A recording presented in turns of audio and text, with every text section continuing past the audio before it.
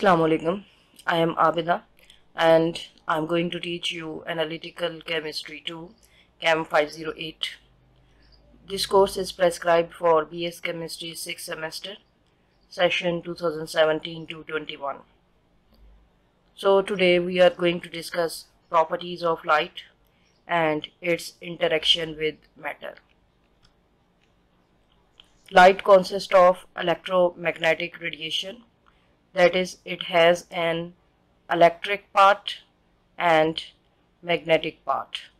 Here electric part of light radiation is represented by blue wave while magnetic part is represented by red wave. So these electric and magnetic fields they are perpendicular to each other as you can see in this picture. They are not only perpendicular to each other but they are also perpendicular to direction of propagation. By means of direction of propagation I want to say that the direction in which light travels. So uh, electromagnetic radiation have uh, different properties and uh, one of the important uh, properties is wavelength.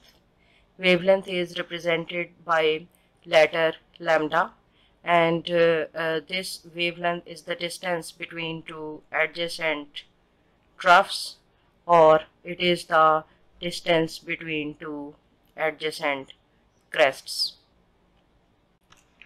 Uh, the more about properties of electromagnetic radiation and their relationship so uh, we have just discussed wavelength lambda which is represented by this Greek symbol uh, and its units are centimeter or meter.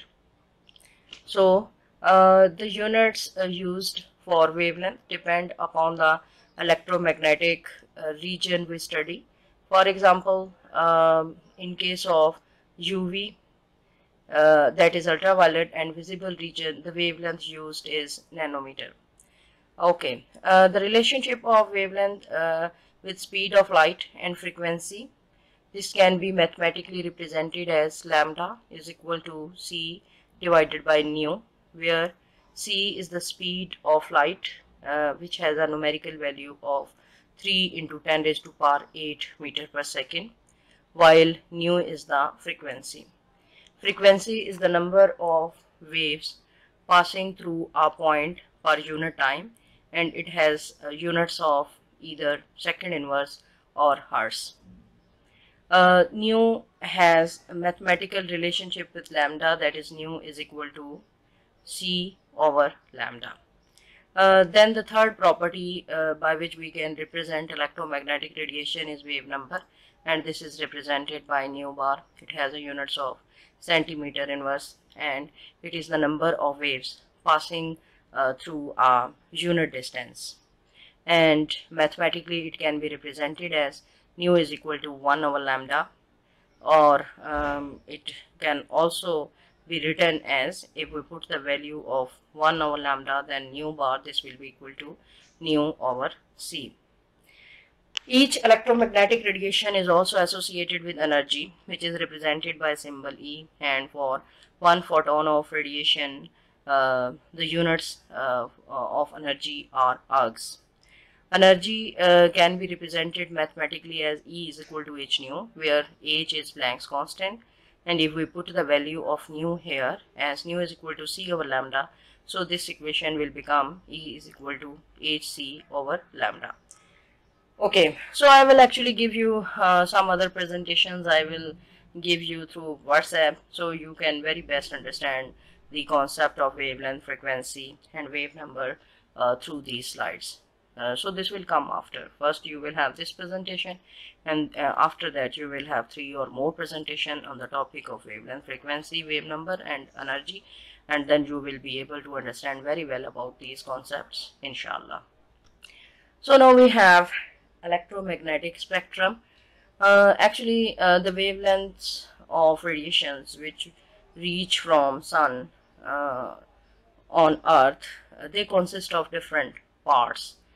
uh, right so uh, this electromagnetic spectrum can be divided into different parts depending upon the wavelength of these regions so we will start from gamma rays and x rays these are highly energetic waves.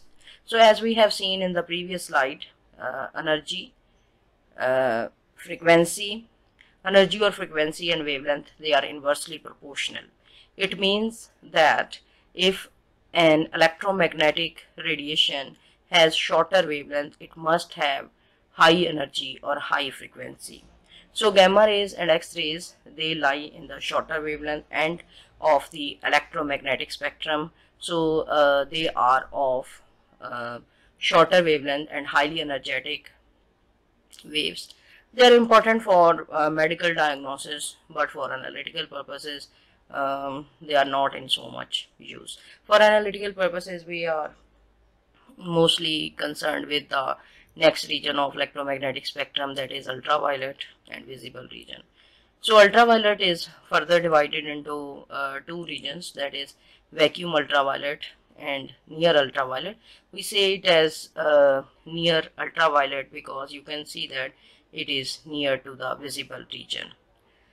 So uh, the ultraviolet region it extends from 10 nanometer to 380 nanometer. But for analytical purposes, uh, the important region is from 200 nanometer, uh, sorry, 200 nanometer to 380 nanometer. That is uh, near ultraviolet region.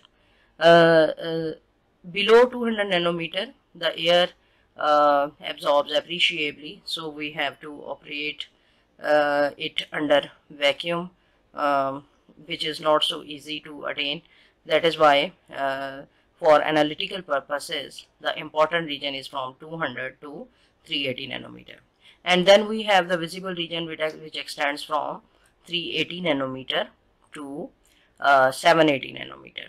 And after that we have infrared region. Infrared is again divided into near infrared NACL infrared or mid infrared and far infrared uh, based on its distance from visible region.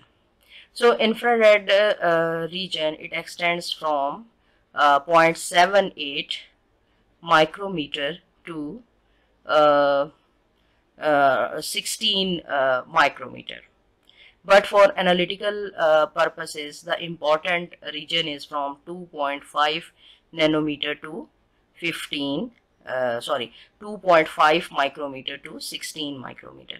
So if we take uh, this uh, in centimeter inverse actually this unit is used for infrared region most commonly or arbitrarily so if we uh, if we use a centimeter inverse then for analytical purposes that is from uh, uh, 2.5 uh, micrometer to 15 micrometer uh, which is most commonly used infrared region for analytical purposes. If we take this region in units of centimeter inverse then this will be from 4000 uh, centimeter inverse to 667 uh, centimeter inverse so we use this for analytical purposes so keep this in mind uh, that infrared region is used uh, or infrared radiations these are used for the determination of functional groups in organic compounds.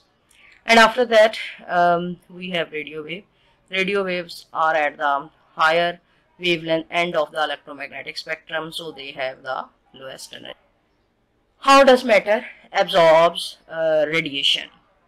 Objects will absorb certain wavelength, uh, leaving the certain of the wavelength as transmitted, which we see as a color. This is called complementary of the uh, absorbed color. So what will happen actually, the objects, they will absorb uh, some of the wavelength. For example, uh, white light, it consists of um, seven colors and it has a wavelength range from um, 380 nanometer to 780 nanometer. So uh, if the wavelength absorbed by an object is from 380 to 450 nanometer, it means that uh, the object will absorb violet color and the remaining light which will be transmitted, they will be of the wavelength uh, having color yellow green. So this yellow green actually this is called the complementary color or the transmitted color of the absorbed color. Likewise, if we have, for example, uh, uh, a substance which will uh, for which the absorbed wavelength is 450 to 495 then uh, actually it will absorb blue light and it will transmit yellow light so it will appear yellow to the uh, human eye likewise uh, if the absorbed color is yellow then the transmitted or complementary color is blue. Uh, and for orange absorbed color the complementary color is green blue and for red it is blue green. So this is how uh, electromagnetic radiation uh, are absorbed by matter and uh, the color which we see of the objects they are of the transmitted or the then interaction of electromagnetic uh, uh, radiation with matter actually uh, now we are going to see uh, what will happen or what is the analytical uh, usage of these electromagnetic radiation with matter. So what will happen actually in spectroscopic methods uh, the sample solution absorbs electromagnetic radiation from an appropriate source and the amount absorbed is related to the concentration of analyte in the solution. So if we have a solution containing copper ion this will be of blue color because it will absorb complementary color yellow from the white light and transmits the remaining blue light. So more concentrated uh, the copper solution, the more yellow light is absorbed and deeper the resulting blue color of the solution. So what will happen in spectroscopic method the amount of this yellow light absorbed would be measured and related to the concentration. In this way, we can uh, obtain a better understanding of absorption spectroscopy uh, or absorption spectrometry. Uh, so in the next lecture, uh, we will actually start again from interaction of electromagnetic radiation with matter and we will see uh, how electromagnetic radiation uh, they interact with molecules and after their interaction what kind of um, you know motions are occurring within the molecule that is uh, translational, rotational and vibrational. So I will send you uh, this lecture and along with this I will also send you uh, two or three um, uh, more presentations in order to have a better understanding uh, uh, of these topics inshallah. Okay students, good luck for this and we will inshallah uh, Uh, meet soon with the next presentation.